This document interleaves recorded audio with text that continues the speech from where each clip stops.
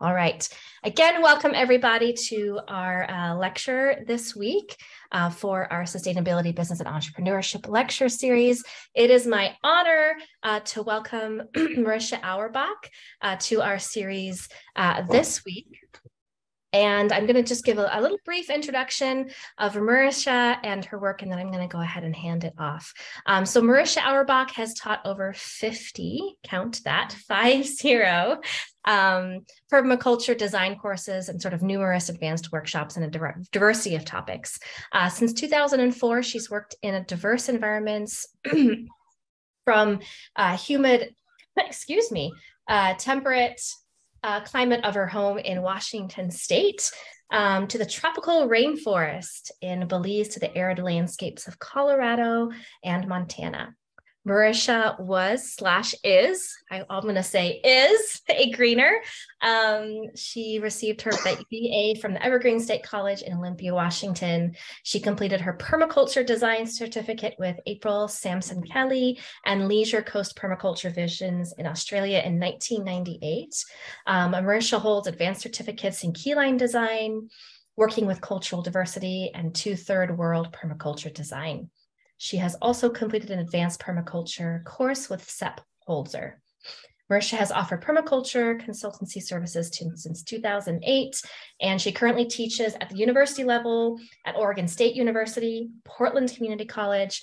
Um, she developed the certificate in holistic landscape design at Bastyr University and was lead permaculture instructor instructor for this program for a number of years.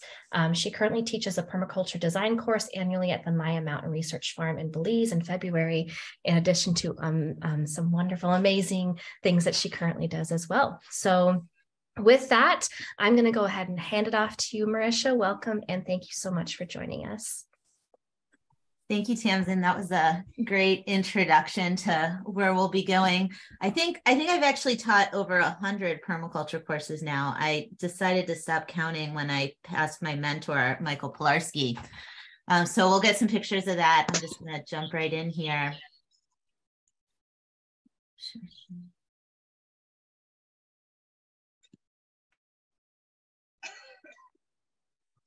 So it was an interesting uh, jaunt through the Wayback Machine to bring together the um, presentation that I'm going to share with you today. And I wanted to start with um, uh, with honoring my ancestors. Um, my grandparents are in this picture on the left. Um, that's my aunt, who's the young girl, and my dad is the little baby.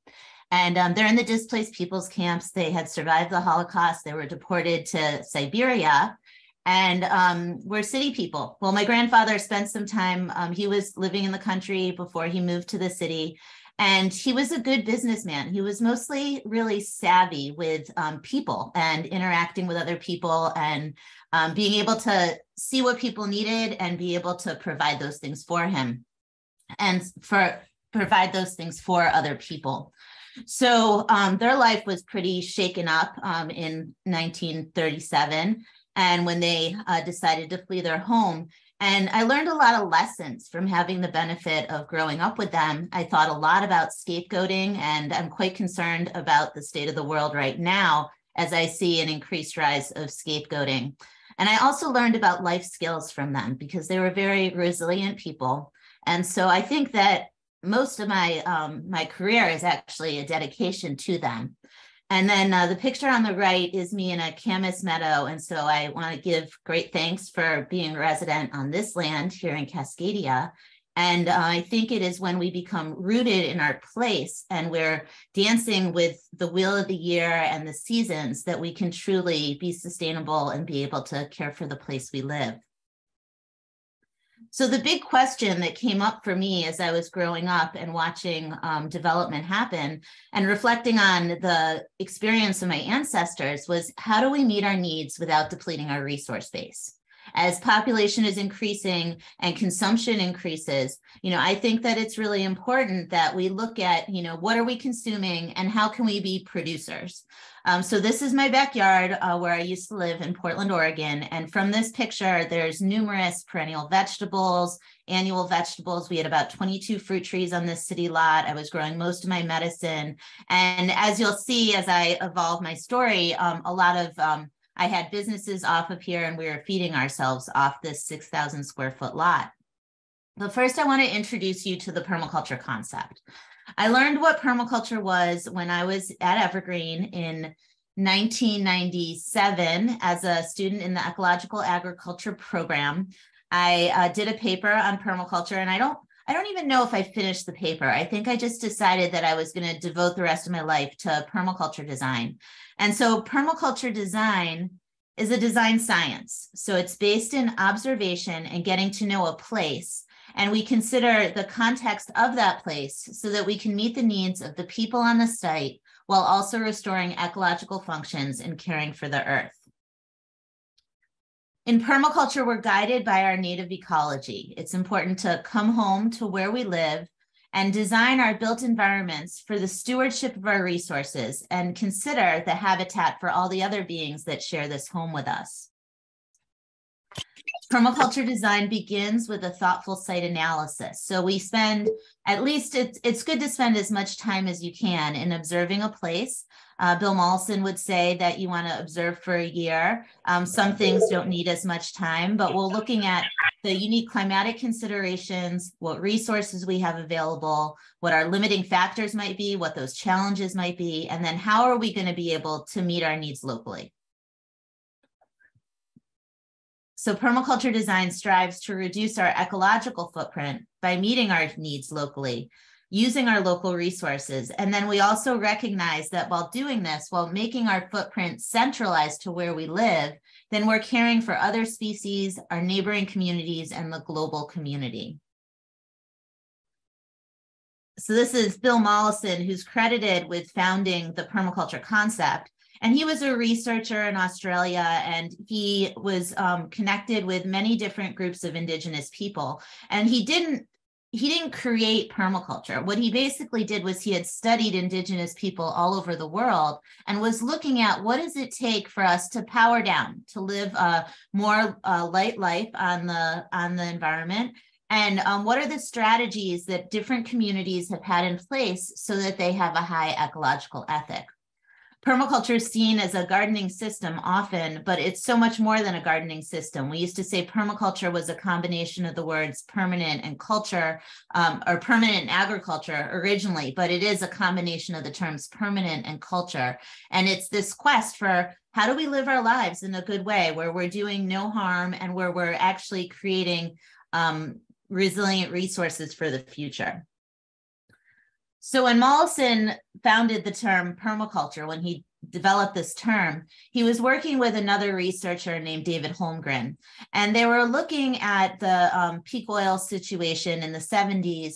And they were wondering how do we have a conversation where we can talk to people with diverse points of view and um, found, find a foundation where we all can agree. And so permaculture began with this ethical foundation. The three ethics of permaculture are care of the earth, care of people, and to share the surplus. So when we talk about caring for the earth, we're looking at conservation and restoration of the earth systems. We're looking at investing in the land where we live so it's not depleted. And with care of the people, we're looking at protecting human rights everywhere. How can we take care of the others around us and the others in the global community?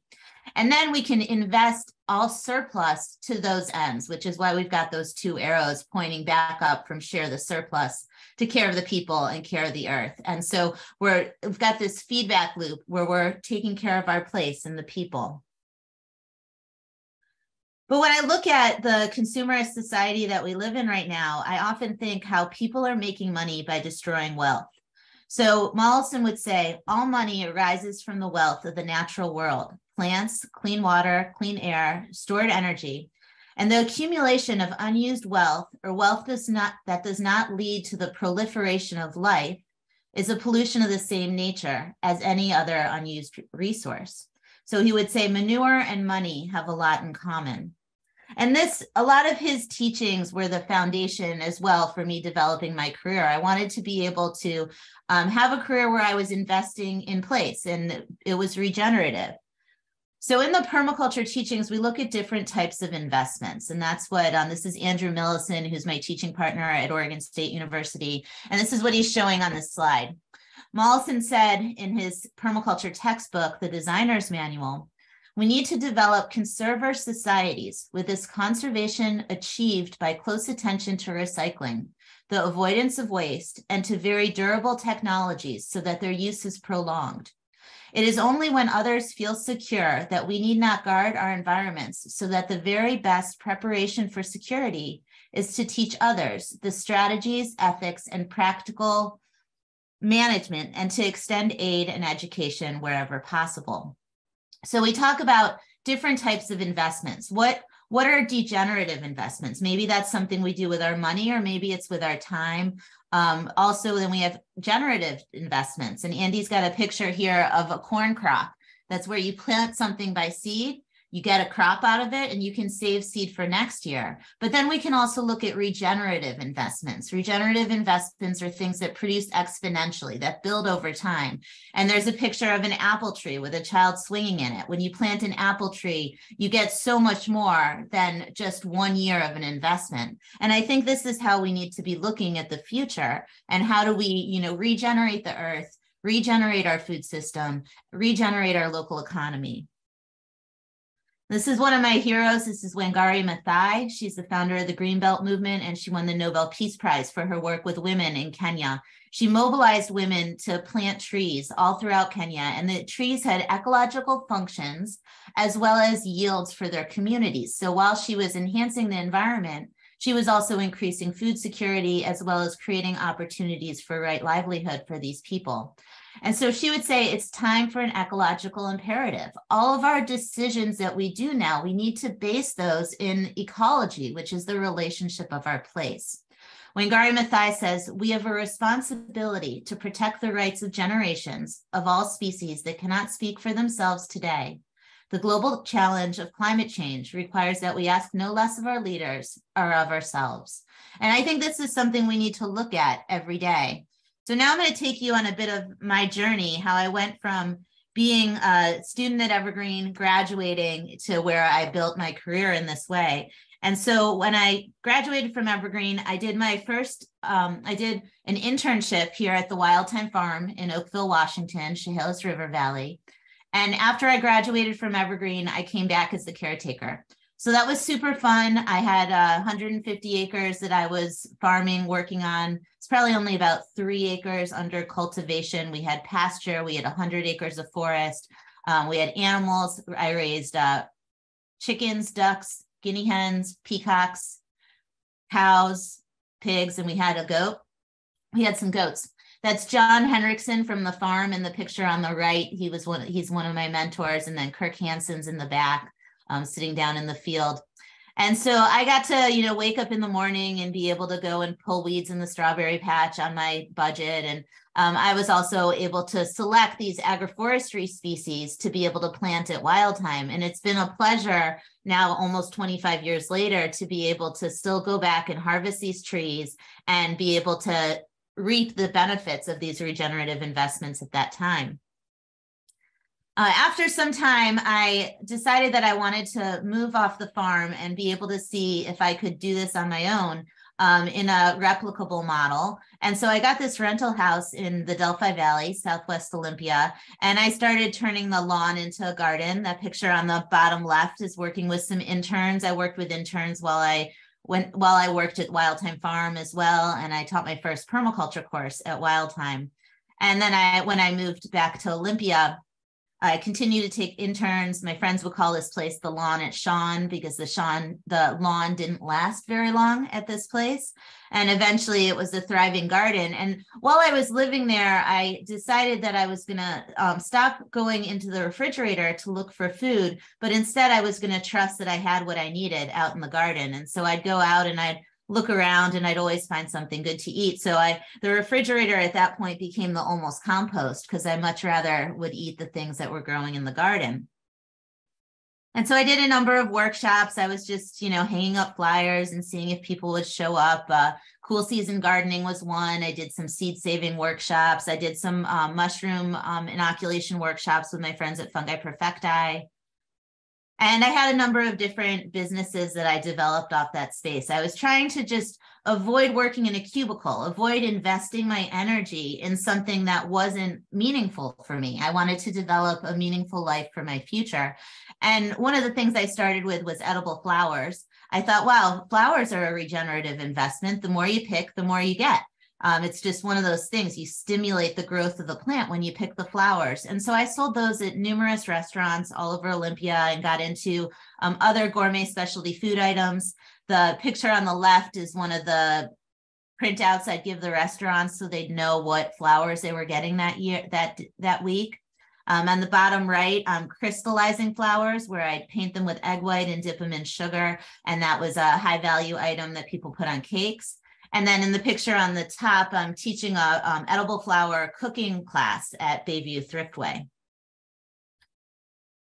And then I also developed a line of flower remedies. These are the Queen Bee flower and gem essences. I had about um, 46 flower essences and 28 gemstone remedies. I also had other herbal products. There's some massage oil that I was making on the top of that case. And I just started, you know, trying to make what I could out of what I was growing. It was pretty fun. I also sold some books on the side. I was developing my permaculture teaching career a little bit more. And then a partnership with my good friend Alexis Sarah was uh, creating these greeting cards. So as a seed saver, I always liked those greeting cards that you could find in the stores where you could plant the card and it would grow a garden. So we decided to start doing that locally here in Olympia. And while we were doing that, we also started working with a collective store, Sylvan Wisdom. It was on Fourth Avenue, and we were selling local stuff made by local people to meet local needs. So going beyond just like what I could create out of my garden, we were also connecting with other people that were interested in local economics and trying to bring strength to the people who were producing in our bioregion. In 2005, it was my first time that I traveled for a workshop. I um, had done a permaculture course at Lost Valley Education Center, and one of the students wanted me to come out to Washington, D.C. to do a weekend workshop. This was at Bread for the City. So, this lot where the garden is, is right next door to the food bank. So, we were addressing um, low food security by having a workshop for growing food and sharing seeds. And so since 2004, I've taught numerous permaculture courses. I really love the two week intensive model of the permaculture course. That's what I've done a lot of. And we had students come together at an education center. We do the um, intensive course. Uh, for those of you who may not know, a permaculture design course is a specific curriculum. It requires um, 72 hours of mandatory instruction. And then we have um, hands on projects that go along with it. And the um, curriculum for the permaculture design course was laid out by Bill Mollison and David Holmgren in um, the early 80s. And it's an internationally recognized curriculum. And we give out an international certificate that says that people completed this curriculum. Um, in order to complete the curriculum, students also have to develop and present a design project. And that's what you can see in the pictures on the right. So often we've got people living at a retreat center in the woods for two weeks. They come together from many places around the country or even around the world. And they have this intensive crash course in permaculture design, sustainable living, and regenerative design. So I did that at Lost Valley for many years. That was in Dexter, Oregon. I did it at Sahali Retreat Center in Tahuya, Washington, our Eco Village on Vancouver Island, and numerous other places. Um, some of my mentors that are dear to me that I worked with uh, in the picture on the left, there's Jude Hobbs and Rick Valley. Um, I worked with Michael Skeeter Pilarski. I worked with Brandy Gallagher and um, Brandon Bauer. And so I've been really fortunate to have a wonderful team of mentors that guided me through this. Um, but yet there wasn't much of a roadmap of how to develop a career in permaculture. And so we've been working on um, sharing that more with our students um, as we do as we do these days. Uh, so I started um, being more connected in the permaculture world. And so I started bringing in people from other places to provide presentations in our community. It was wonderful in 2005 to meet David Holmgren when I brought him to the Eagles Hall. Um, and he gave a presentation there. And Dave Jacke, who's also a friend who wrote Edible Forest Gardens, came to Olympia in around 2005. And from my time at that place, the lawn at Sean, also known as Marisha's permacult- uh, Queen Bee's Permaculture Garden, Um, I one day went into Black Lake Organic, uh, talked to Gary there, and told him that I was growing most of my own food on this property. And he said, Well, if you're doing that, then you should probably make a presentation and take that around places and call it How to Grow All Your Own Produce in Two and a Half Years. It was about two and a half years that passed since I established the garden when I started just eating what I was growing. And so since that time, 2005, I've mostly just been eating food that I've grown and that's how I've designed my diet so that I'm in sync with the seasons. And that's the food that I want to eat in the year. And I have a sense of how much is needed to be able to support myself around that same time, I met Mark Lakeman, who's the founder of City the City Repair Project in Portland, and he's been a dear friend and mentor for many many years. I would go down to the Village Building Convergence in Portland, which was ten days of natural building and permaculture. If you've been to Portland and you've seen our painted intersections or the um, or the um, free libraries, those are all things that came out of the City Repair Project the mission of the city repair project is to transform spaces into places is to restore the community fabric of the crossroads in our daily life.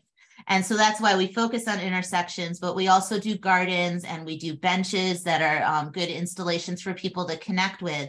And then with mark we've i've done a tour down to california the urban alchemy tour forgot what year that was in. And then we also um, did this workshop in Cleveland where we brought the village building convergence to Cleveland and we had three projects in Cleveland.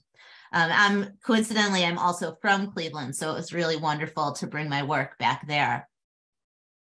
In 2005, my dear friend Willow Witten um, was thinking of traveling internationally, and she had the idea to go to Belize.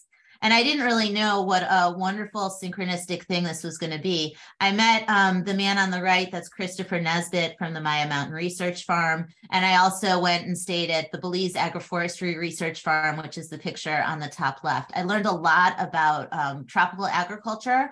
And I've been working with the Maya people and the Garifuna people ever since. So it's always a pleasure to work with the indigenous people of an area. And I've been so fortunate to do that um, throughout my career.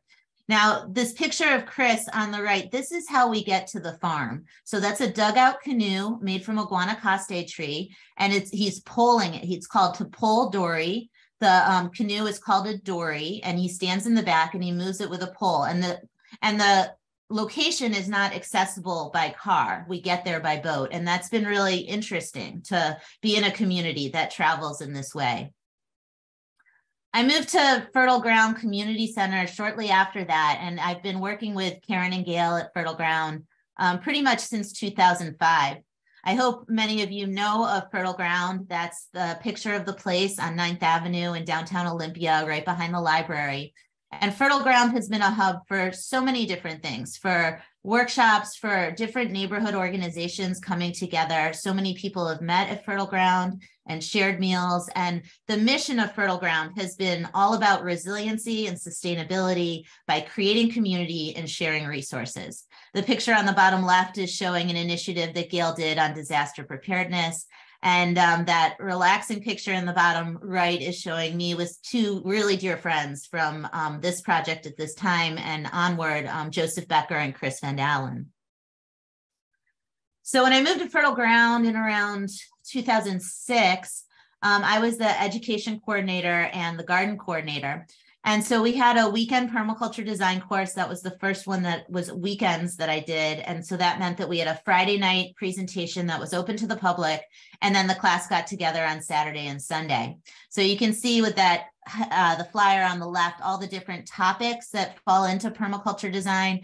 We talk about agroforestry, edible landscaping, natural building, um, forestry, ethnobotany, nutrient cycling, appropriate technology, organic gardening, restoration, pest control. So many topics go into the permaculture design course curriculum. And we also offered at Fertile Ground this um, weekly workshop on just uh, sharing about our local area and why it's important to be local. We ate local food, and it was a collaboration with Susie Kyle and Karen and Gail at Fertile Ground. Here's some other workshops we offered at Fertile Ground, seed saving, um, disaster preparedness, putting up the harvest. That was a whole day on um, food preservation, and then also gray water design. And towards the end, um, when I, I was just about to move out of fertile ground when I went to Vietnam, and that was a wonderful gift in my life. Um, I went with Ruth Moss, who lives in Olympia. She's the, the first one born in this country in her family. Um, so she comes from many, many people that um, live in Vietnam. And um, so we went there to see her family over Chinese New Year. And afterwards, I went out to the Ha Tinh province and was very fortunate to work with um, the these hill tribe students um, the, the picture on the left shows us with uh, the big tree. Every day we would go out and worship the big tree, or we'd go out to the waterfall. And it was a very um, spiritual and connected life that they had. While I was there, they wanted me to teach, and I didn't really think that was necessarily appropriate because I hadn't been in their country for very long and I had so much to learn from them. Um, but I thought it also wasn't appropriate for me to deny the request of my host. So I hoped that because they didn't speak English, that if I said anything that was inappropriate, that someone would cut me off and put me in my place. So um, in the picture on the bottom left, they would present different designs every day. They're permaculture designs. And then that's me and um, Tu Kien, um, one of their teachers, and we would talk about their design. Um, I think it's really neat how it's in Vietnamese, but uh, you can still see and understand what's going on in the base map. And um, they had gardens like the one on the right. This was at a farmer field school that was far from their homes where they came to learn. And while they were growing some things in rows, I found that working with people in other countries, I wanted to learn from them. I wanted to bring strength to their traditions. And it was really interesting how, when we started talking about polycultures, which is um, the opposite of monoculture, so polyculture is when you have a lot of different plants that are growing together. Um, some of these Hmong students would get so excited and tell me about their grandparents' gardens and the different trees and shrubs that they had in relationship and how the ecology was working in these gardens. So I came home and I decided I needed to get some more skills on working in other cultures. Um, but while I was waiting for that uh, teaching, uh, that um, learning opportunity, I brought in Sepp Holzer from Austria. Um, he came to the Pacific Northwest and then I did a permaculture workshop with him in Montana. And my nursery was continuing to grow. I had my nursery for sale at Fertile Ground. I guess I haven't mentioned the nursery yet. Um, that began when I was at Wildthyme Farm in around 2000, or actually in 1998, when Kirk Hansen told me, well, what you do is you pot up the things that come up in the pathway and then you sell them at the farmer's market. So I started dividing my plants and putting them in pots, and that's been my nursery model ever since.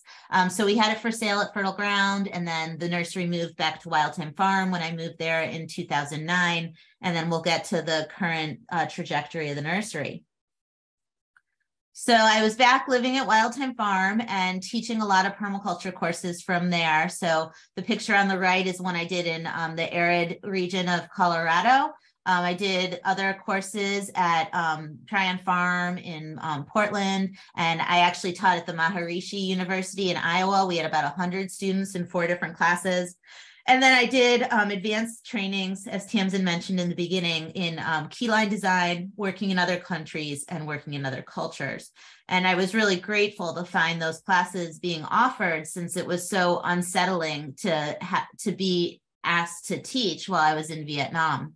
I also got some good press. So that's uh, an article from the Chronicle in Centralia. I made the marquee at Yardbirds. and then in uh, 2009, the earthquake hit Haiti. And a good friend um, who I knew from Olympia um, was call- doing call out for people to come out to Limbe, Haiti, which was in the north, um, to help with permaculture projects um, to help strengthen um, the local agricultural systems there. And so I went, and my good friend and colleague Keldon Miller came with me, and we had a number of other friends that came along. And so these pictures, the two pictures on the um, the one on the right and the one on the bottom, are showing us working with the Agricultural Association there. And the picture on the top left is uh, all the people that came by to show me how I should actually do my laundry, where um, they really know how to do hand washing well in Haiti, and uh, apparently us Americans didn't really know that at all. And back stateside, I was involved with uh, Sherry Trinka and Artful Life. So I mentioned earlier that we had that local store, Sylvan Wisdom, um, that was downtown that closed after a number of years. And shortly after that, um, Sherry moved to Olympia and opened The Artful Life. And we were selling lots of different handmade things um, by local people using local resources to meet local needs. And that was a beautiful community gathering place. We shared lots of food there. Um, we contributed the flower garden to the procession of the species. And my products were sold there, which were the flower essences and tinctures and herbal pillows. And, um, and then I'd often have workshops there. And um, it was great to be involved with Sherry Trinka. I continued offering other workshops. Um, seed saving is a pretty big one that I do. I think seed saving and food preservation are two very, very important skills as we go into the future. I've maintained a seed exchange since um, probably 2003. I love sharing seeds with people. I think it's valuable to not commodify seeds. And uh, the picture on the top left is showing my mentor with seed saving, Forest Shomer, um, he is one of the only two men in that picture. Um, that picture shows all the people that came for the seed saving workshop. Each container has a different type of seed in it. And so each of those people went home with a small seed exchange that they could bring to their communities and continue to expand on. It's always been a joy to have people come from diverse areas in our bioregion, come together, share knowledge, and leave with um, these gifts. Uh, it's also been a joy to travel to really beautiful and unique places. So the picture on the bottom right is showing the um, Big Bend Hot Springs permaculture course in 2011. Um, that was a really good event. And then also in 2011, since I had been building all this social capital, you know, I thought that the permaculture teachers really need to get together to talk about, you know, where's the movement going? How can we organize for resilience in our communities? How can we support each other? And so we hosted this two years in a row at the Wildthyme Farm.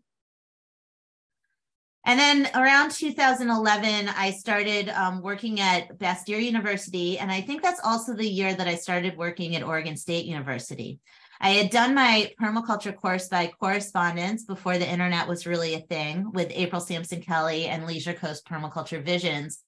And so that was uh, one reason why Andrew asked me to start teaching at Oregon State as we began developing one of the first online permaculture programs.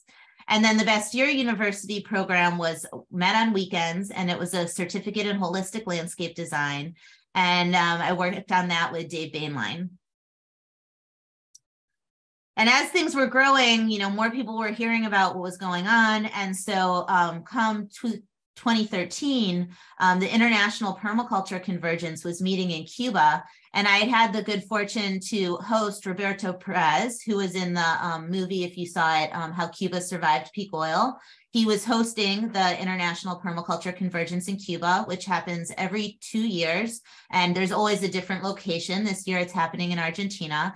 And so Roberto, Roberto asked me to give a keynote. And I was I was talking about urban permaculture in Portland. So the picture on the top left is showing me and Andrew Millison. Um, he gave a bit of a wrap before I did my presentation. And then the picture on the bottom right, we were on a panel um, on permaculture and climate change. And the man next to me is uh, Darren Doherty, who's one of the most prolific international permaculture teachers and is an inspiration. And then in around uh, 2011, I decided to move from Wildthyme Farm and move to the city. Uh, people were saying, wow, that's really great that you could grow most of your own food, um, but I live on a city lot. And so I wanted to move to the city to show how you could trick out an urban lot, permaculture style, and be able to get you know meet most of your needs on that small of a space. Um, when the uh, land when it was determined that most city lots would be 5000 square feet that number wasn't random. That number came from what was expected the amount of space that people needed to be able to grow most of their own food. And at that time i got together with zane ingersoll and he bought our house which was a pretty average house in portland and we started uh, transforming the landscape. We made uh, we made both the local newspaper as well as the Willamette Weekly, and I got my doppelganger there on the bottom right, and that is not what a permaculture landscape looks like. Um, a permaculture landscape is not in rows. Um, we'll have some pictures coming up, but it was pretty fun to see that in the newspaper. And I also started volunteering with the Home Orchard Society and getting more involved in diverse varieties of fruit, heirloom orchards and um, just really expanding my knowledge on all of these different wonderful fruits that we can grow that will produce exponentially and really provide a reliable food source for us.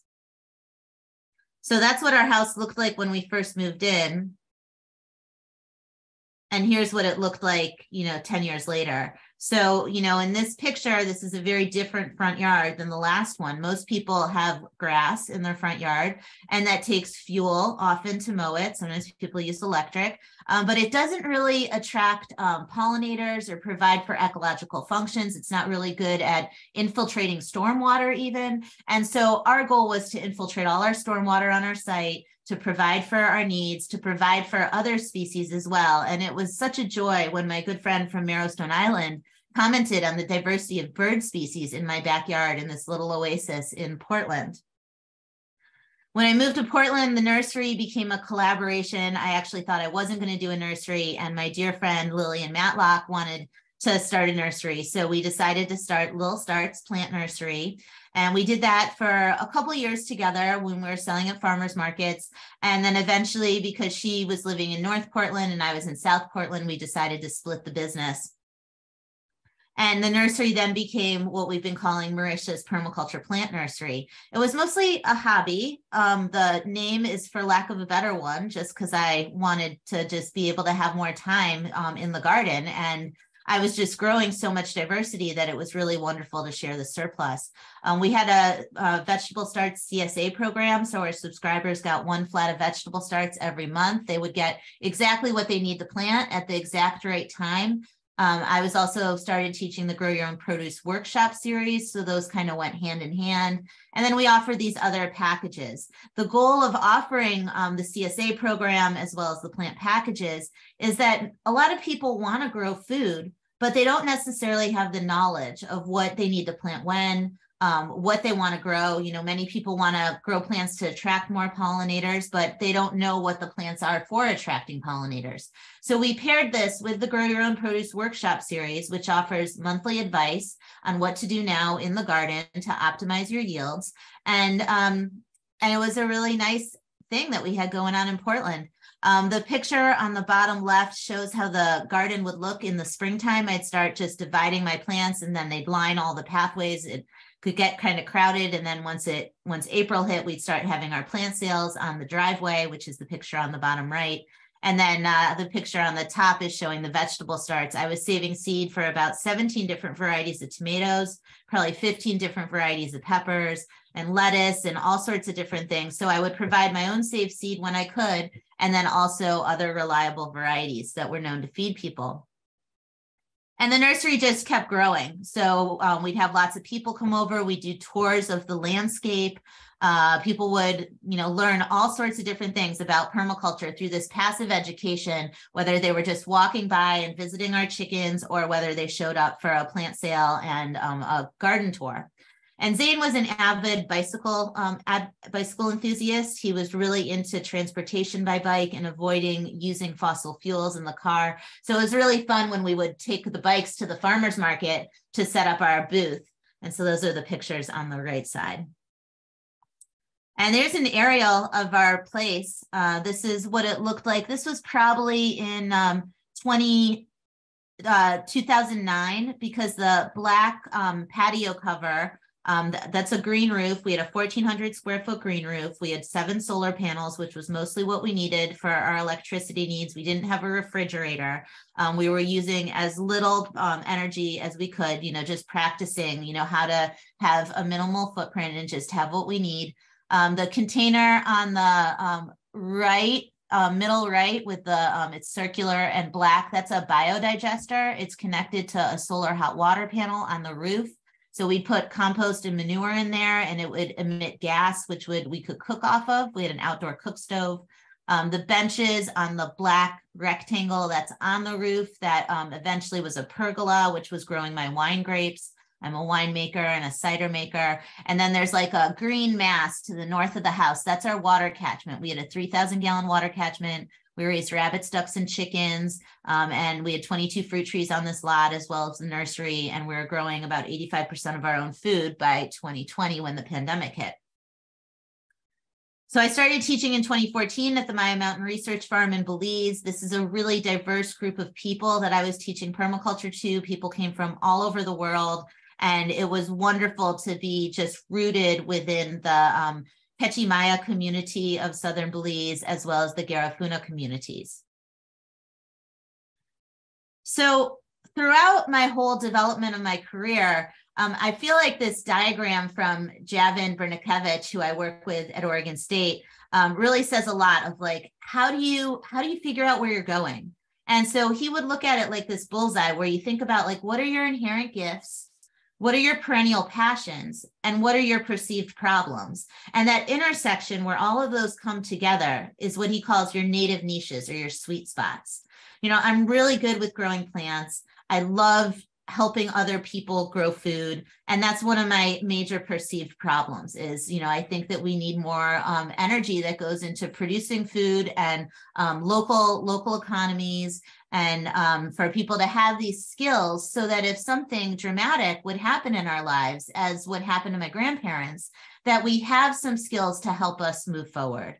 Um, so this is um, something that we teach in the permaculture design program and it was around uh, 2011 where I started teaching online through Oregon State University. Um, we offer a permaculture design course um, uh, each semester of the year. And then we also offer a permaculture design course pro, which is more involved for people who want to go into the practice of permaculture and consulting. We have about a thousand students per year through all of our programs at Oregon State. Um, this is my course that I developed. It's the permaculture food forest course. There's a self-paced version. That's the first part, and that's a lot of passive education. There's some homework, but you don't need to turn it in. Um, you can find some free videos if you want to check it out on my YouTube channel. And then the practicum is a 10 week um, instructor led course where we walk students step by step through their design. And right now in the practicum, I have students from um, Hungary and from the Netherlands, as well as students from Cascadia and throughout the United States. So I just took these off of the OSU website. Here's just a little bit on the impact of permaculture. Um, it was founded in 78. There's been 44 years of practice. We find um, permaculture systems in over 100 countries. I would say it's over 300. I think there were 300 countries represented at the um, in our national permaculture convergence. Um, we've had 3,000 um, permaculture design certificate student designs, and then there was 45,000 people 45,000 people in our massive online course. In addition to the permaculture design course, we offer an advanced permaculture course on climate resilience, and we also are offering a water management course. The Grow Your Own Produce Workshop Series has been going on for um, 10 years now. This will be the 10th year in 2023. Um, when it was originally offered at People's Food Co-op and it was inspired by Plants and Planets that Rosie Finn and uh, Carol Trasatto used to do here in Olympia at Traditions. I thought it was necessary to have a monthly time where people came together to talk about what to do each month in the garden. And now it's got about 90 people that take it per year. It's on Zoom, and I'm hoping next year that we can introduce hands on workshops with it. My nursery has grown more than I can handle as my businesses have all grown in their own directions. And so we're working on turning the nursery into a bioregional producer cooperative. I think it's really important that we enhance biological diversity throughout Cascadia to stabilize our bioregion. And so this is why we're looking to form this, we are forming this producer cooperative um, with member um, producers that live in various hubs throughout Cascadia and we'll also be able to offer plants in the various hubs that they live in. We're going to have a, shared nursery list that we post on the website, and then people will place orders online and let us know where they want to pick it up. So this year we were doing um, delivery in White Salmon, in Portland, and in Olympia, and we hope to expand that for next year. Um, as I've been thinking about the need for hands-on education with all of the um, online courses that I've been teaching, I think it's really important that people come together in person to put their hands in the earth, to share food, and get connected um, with our place. And so it is my dear pleasure that I inherited um, Fertile Ground Community Center from um, Gail and Karen. That's uh, Gail Sullivan in the middle on the left, and Karen Nelson on the right um, in the middle. Um, they managed Fertile Ground for 30 years and they just recently moved to Mexico last May. And so Susie Martins, who's on the right, and me and um, some others on our board are now going to carry on with their work of Fertile Ground Community Center as we change the mission to be focused not just on urban sustainability, but on bioregional sustainability. And one of the most important things that I think we need to be talking about is ecosystem restoration. So it was a joy to offer an ecosystem restoration course in June of 2022 with my mentor, Michael Pilarski. And this was at Atlon Community in White Salmon. Um, we also just finished up a food forest workshop at, at Atlon Community in White Salmon. And I hope to be doing so much more of bringing people together to have conversations over our land and our food. And then I'd like to just remind everyone that money is not our only form of capital. Um, this was developed by Ethan Roland and Gregory Landua, where they laid out the different types of capital that we might have. And so often we're focused on making money or um, how much money we have, but there's so many other things that are valuable and that bring value to our lives. I know that I feel um, so grateful for all the social capital that I've built over time and um, for oh, so many of these other types of capital. So I'm going to end with this quote from Bill Mollison. He says, The tragic reality is that very few sustainable systems are designed or applied by those who hold power. And the reason for this is obvious and simple. To let people arrange for their own food, energy, and shelter is to lose economic and political control over them. We should cease to look to power structures, hierarchical systems, or governments to help us, and instead devise ways to help ourselves. We lay waste to our lives in proportion to the way in which the systems we support lay waste to the environment. We need to expand the concept of social responsibility to include social and environmental responsibility and to create our own financial and employment strategies in those areas. We should not be passive workers for established destructive systems, but rather we can be investors in life. We cannot profess to teach one ethic and live another without damage to ourselves and to our common resources. So I hope that um, that serves as inspiration of you know caring for our place and with whatever your endeavors are.